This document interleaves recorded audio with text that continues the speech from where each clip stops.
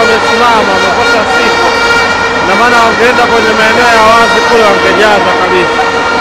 Hii Yanga kubwa sana, wala watu wamesimama. Wamekosa sifa, wengine wamekaa juu.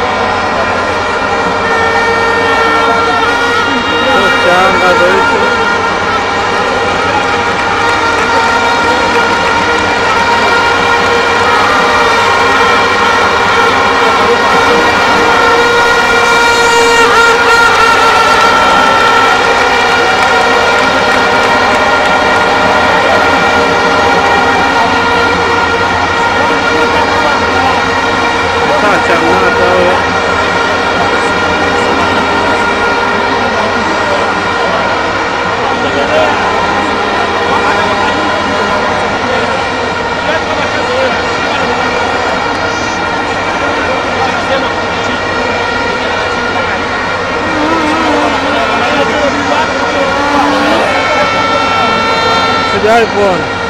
Niwaambie jamani.